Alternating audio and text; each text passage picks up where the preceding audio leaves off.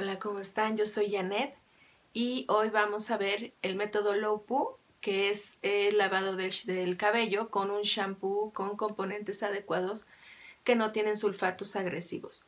Se los expliqué en mi anterior video. Este es el, eh, la continuación del segundo round del cuidado de tu cabello y voy, voy a enseñarte, te voy a invitar a mi intimidad para que veas cómo me lavo el cabello, cuáles son los pasos y también cuál es mi definición.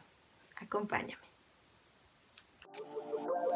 Ok, empezamos. Vamos a mojar nuestro cabello con abundante agua y con agua tibia para empezar, para que la, la cutícula se abra un poco.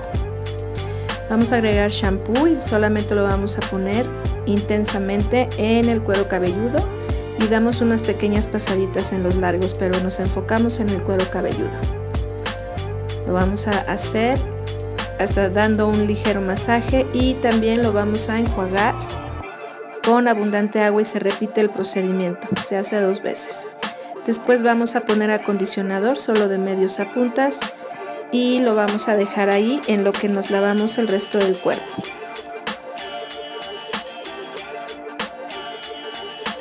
Vamos a cepillar, cepillamos empezando por la parte de abajo y vamos subiendo poco a poco el cabello se cae, es normal, eso es normal. Así es que cepilla bien por todo tu cabello para quitar los nudos y enjuagas con agua este, tibia, perdón, enjuagas con agua tibia. Después de enjuagar con agua tibia, vuelves a enjuagar completamente todo con agua fría, completamente fría. Si lo puedes tolerar, adelante. Dura un minuto de preferencia y después haces scrunch.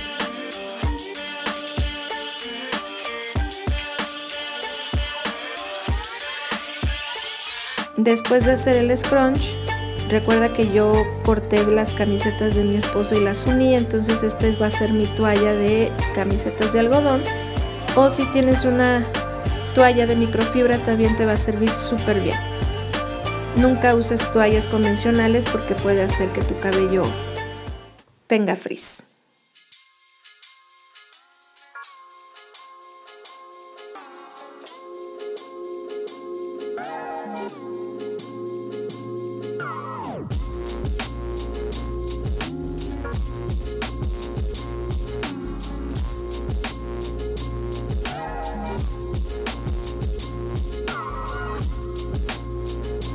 Ok, vas a dividir tu cabello en secciones, vas a dividirlo en cinco secciones. Todo tu cabello alrededor. Después de eso, vamos a aplicar más agua. ¿Por qué vamos a aplicar más agua? Porque para hacer esta técnica tienes que tener el cabello empapado y como usamos la toalla, se nos quitó un poco la humedad, pero entonces le vamos a poner agua, no pasa nada. Primero le vamos a poner agua Después de ponerle agua le vamos a poner una pequeña cantidad de living y hay personas que usan crema para peinar. El chiste es usar un humectante. Ponemos el living, yo estoy usando Monster, más o menos esa cantidad para ese mechón. Lo vamos a esparcir súper bien por el largo del cabello, pasando los dedos entre ellos yo este, también hago la técnica de pasar las manos como si estuviéramos rezando. Mira, mi cabello ya está muy largo y trato de presumir, pero no se alcanza a notar. Entonces pasas el, producto y después de eso voy a utilizar un cepillo que yo amo, adoro. Ese cepillo te ayuda a este, separar las hebras del cabello para definir bien.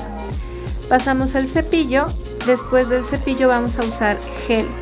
Yo utilizo el gel de linaza que próximamente te estaré diciendo cómo lo hago yo, pero el gel que yo ocupo me encanta. Así es que eso vas a hacer con todas las mechas de tu cabello.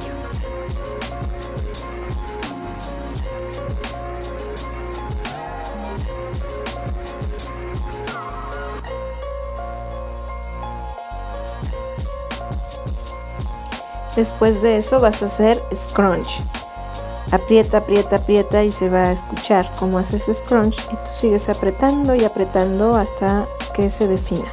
A mí me gusta usar gel muy ligerito, pero esa es mi decisión. Hay geles que son más pesados.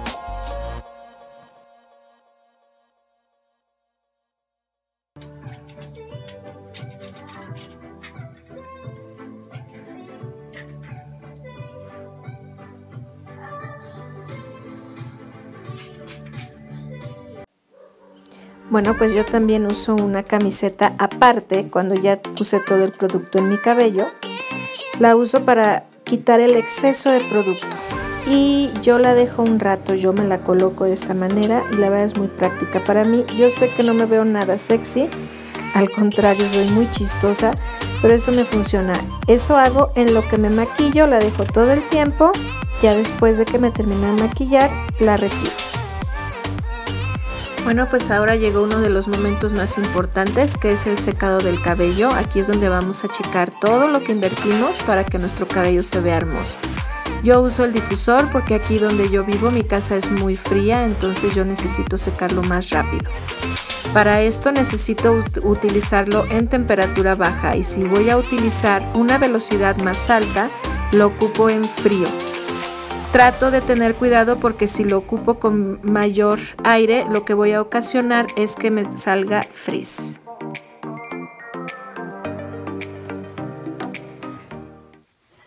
Bueno, pues esa fue toda la explicación de hoy. Mira qué hermosos quedaron los rizos.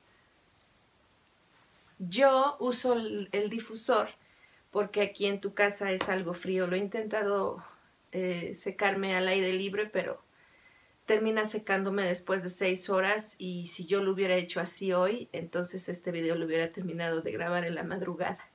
Así es que te animo a que te decidas hacer este hermoso tratamiento y de verdad te va a funcionar. Dale paciencia, siempre repito eso, dale paciencia, las cosas no son inmediatas, todo es disciplina y decisión, ¿ok? Bueno, pues esto fue todo. Yo deseo que nuestro gran Dios te bendiga grandemente y que estés al pendiente del nuevo, nuevo video. Vamos a tener una continuidad de toda esta explicación. Acuérdate de buscar la campanita de notificaciones y también acuérdate de compartir. Búscame en mi Instagram y en mi Facebook como Janet Web y obviamente aquí en YouTube comparte, ayúdame y vamos a seguir progresando. Yo te deseo grandes bendiciones. Hasta luego.